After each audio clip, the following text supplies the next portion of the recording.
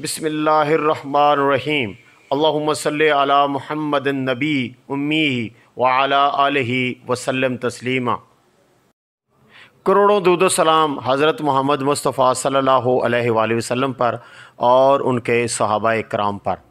सात रबी अव्वल चौदह सौ पैंतालीस हिजरी, चौदह सितंबर दो हज़ार तेईस ईस्वी, दस असवज, बीस सौ अस्सी बकरमी एक वीडियो में मैंने कहा था कि मैं थक जाता हूँ, जिस पर इरसरान उमर तारक ने लिखा है कि राजा जी, मैं भी थक जाता हूँ। 54 साल लिखा है, शायद इनकी उम्र भी चौवन साल है।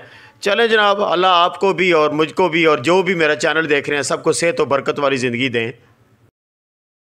दाऊद ख़ान लिखते हैं कि असलकम धानियाल भाई, एक मशरा देना, ए आर वाई के अलावा कौन सा अच्छा नाम है? दाऊद साहब, सच पूछे तो मैंने कभी भी ए आर वाई का भी गोल्ड कभी नहीं परचेज़ किया, क्योंकि हमारा ये पीस और ये इम्पोर्टेड गोल्ड से कोई ताल्लुक ही नहीं है।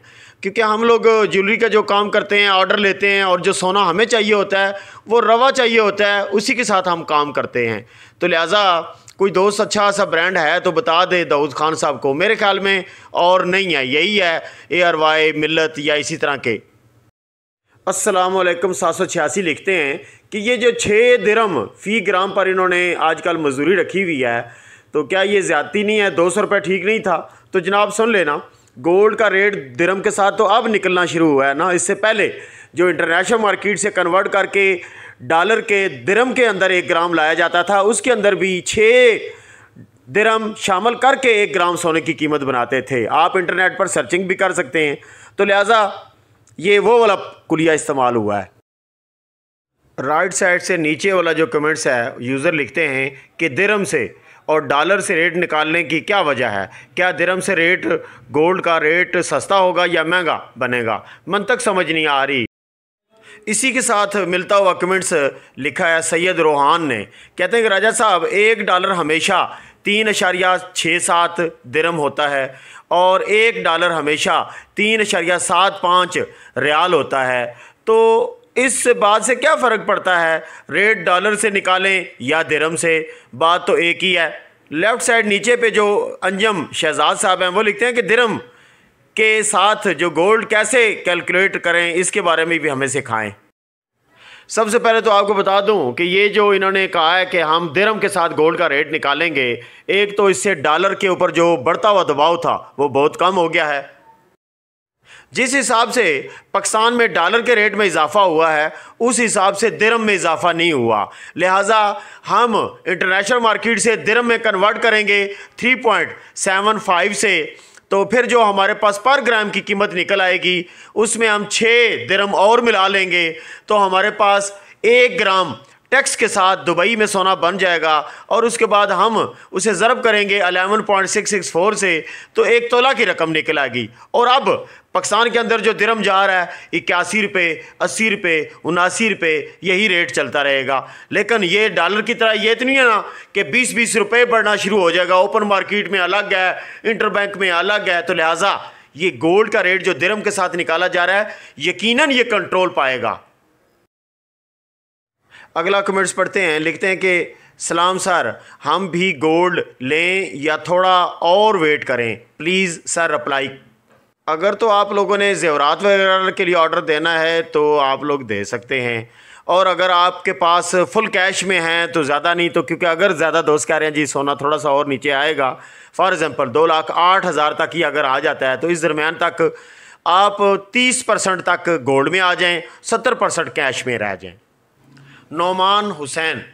कहते हैं कि, सर जी, मेरे पास एक ब्रेसलेट है, ब्रांड, ब्रांडेड है, और वो बीस लाख तकरीबन उसकी कीमत है, लेकिन सुनार सिर्फ़ चार लाख रुपए दे रहे हैं। रावलपिंडी में कोई ऐसा दुकानदार हो जिसे मैं ये ब्रांडेड चीज़ खरीदते हूँ? तो जनाब, ये आप आपस में ही कोई उधर लेन देन कर लें। यहाँ रावलपिंडी में मुझे कोई ऐसा दुकानदार नज़र नहीं आ रहा, जो आपको चार लाख की बजाय बीस लाख के दरमियान वाली अमाउंट पूरी कर सके। अगला कमेंट से आया खदीजा अली या अली खदीजा की तरफ़ से कि ये मैं आपकी वीडियो रोज़ाना देखती हूँ। और आपने ये जो ज़क़़त वाले मामले की इन्होंने कोई क्वेश्चन किया है, अगर ये खुद या कोई और दोस्त इसकी थोड़ी सी आसान उर्दू कर दे ताकि मैं इसका सवाल का जवाब सही दे पाऊँ, मुझे समझ नहीं चली इनके सवाल की। इब्राहिम ख़ान भी लिख रहे हैं कि भाई, हम भी बहुत ज़्यादा नुकसान में जा रहे हैं। एक हफ़्ता है मेरे पास और हफ़्ते के तक मैं माल में बेच कर मैंने अपनी बेटी की फ़ीस अदा करनी है तो आप क्या मशरा देते हैं? इब्राहिम खान वाला जो कमेंट्स है, वो मैं आप सब दोस्तों के सामने रखता हूँ और आप इन्हें को अच्छा सा मशरा दें कि इनकी ये परेशानी दूर हो सके। और इस तरह के जितने भी कमेंट्स आते हैं कि फंसे हुए लोगों में तो ये तीन महीने पहले भी ऐसा ही हुआ था, जब बहुत ज़्यादा लोग फंस गए थे, उम्मीद ही नहीं थी। तो अचानक क्या हुआ? दो लाख चवालीस पे दोबारा गोल्ड पहुँच गया था ना? लेकिन उस वक्त कुछ दोस्तों ने फिर ये ख्याल किया कि अब और ऊपर जाएगा तो फिर दोबारा फंस गए। शेख सुलेमान साहब का भी कमेंट्स पढ़ते हैं कि हौसला अफजाई के लिए लिख रहे हैं कि राजा साहब जो बाय करेगा वही मौज करेगा और लगाने वाले को मिलेगा देखने वाले को कुछ नहीं। कल वाली वीडियो में हमने कहा था जी इमरान खान साहब किधर गायब हैं? को, कोई राय नहीं दे रहे तो उन्होंने फौरी अपना कमेंट्स में लिखा आई लव यू सर बहुत शुक्रिया इमरान खान साहब और हमें आपको वेलकम भी कहते हैं दोबारा आप हमारे चैनल पे आ गए अगले यूज़र में लिखते हैं कि मैंने गोल्ड पहली बार दो के हिसाब से चार तो ले लिया था और आपके कहने पर, अब बेचूं या कितने दिन सब्र करूँ? मैं बहुत परेशान हूँ। चलिए जी, अल्लाह रहम करेगा। दो चवालीस से कम होकर एक अठानवे पाँच सौ रुपये पर गोल्ड आ गया था। फिर दोबारा बढ़ते हुए दो बयालीस तिरतालीस पे पहुँच गया। फिर वापस आ गया तो क्या पता रब ताला तीन महीने बाद फिर कोई मौका दे दे। और दूसरी बात है, ये मुझ पर तो ना आप ब्लैम गेम करें ना। मैंने किसी भी वीडियो में ये कभी नहीं कहा कि जनाब गोल्ड का रेट तीन लाख से ऊपर चला जाएगा, साढ़े तीन हो जाएगा। हाँ आप लोग जब बाज़ार की आवाज़ मुझसे सुनते हैं बाज़ार वाले हमेशा की तरह ये अल्फाज इस्तेमाल कर देते हैं कि जी अपना माल पूरा रखें। क्योंकि उस वक्त तो ये अफवाहें उड़ी हुई थी ना कि गोल्ड का रेट अब कंट्रोल से बाहर हो रहा है, क्योंकि डॉलर नहीं कंट्रोल हो रहा था। लिहाजा डॉलर अब कंट्रोल हो गया है। मुजम्मल भट्ट साहब, ये भी हौसला अफजाई के लिए कमेंट्स लिख रहे हैं। कह रहे हैं जी कि gold never old gold number one currency again rupees ever old तो भट्ट साहब, बिल्कुल आप दुरुस्त कह रहे हैं कि जो सोना है, वो असल करेंसी ही यही है। डॉलर को लग गया ना मांझा, बोरियाँ भरी हुई लोगों के अंदर की धरी की धरी रह गई ना। खौफ और हरास में पड़े हुए हैं अब। हमेशा सही वक्त पर चांदी में और गोल्ड में इन्वेस्ट किया करें, ये फ़ायदे वाला काम है। ज़कीरुल्ला साहब भी हौसला अफजाई के लिए लिख रहे हैं कि राजा साहब, हम हर रोज़ आपकी वीडियो भी देखते हैं और दो पैंतीस पे रेट में फंसे भी हुए हैं। हर किसी को इंतज़ार करना चाहिए, तकरीबन एक महीना। बड़ा अच्छा सवाल पूछा है जी बिलाल बशीर साहब। कहते हैं कि अस्सलाम राजा साहब। फ्राम बिलाल बशीर जेलम, के पूछना ये था कि क्या अब चांदी का रेट भी दिरम से निकालेंगे या कि डॉलर से? ये प्लीज़ बता दें। गोल्ड का रेट हमेशा की तरह डॉलर के साथ बनता आ रहा था।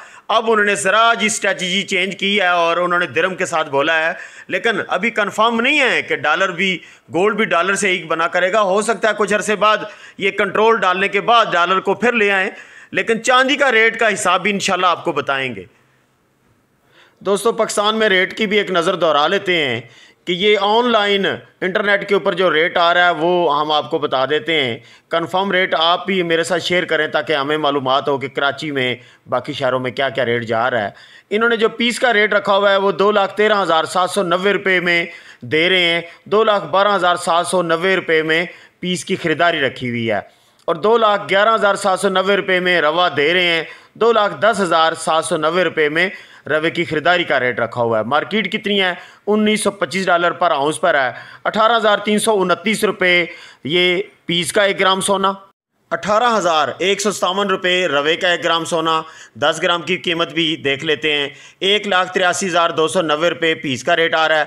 एक लाख इक्यासी हज़ार पाँच सौ सत्तर रुपये रवे का दस ग्राम सोना आ रहा है। और के पी के में बारह ग्राम एक सौ पचास मिलीग्राम का वज़न कुछ शहरों में चलता है। वहाँ दो लाख बाईस हज़ार सात सौ रुपये में पीस का रेट, दो लाख बीस हज़ार सात सौ रुपये में रवे का रेट शो हो रहा है। अल्लाह हाफिज़ दोस्तों, पाकिस्तान जिंदाबाद, पाक फ़ौज जिंदाबाद।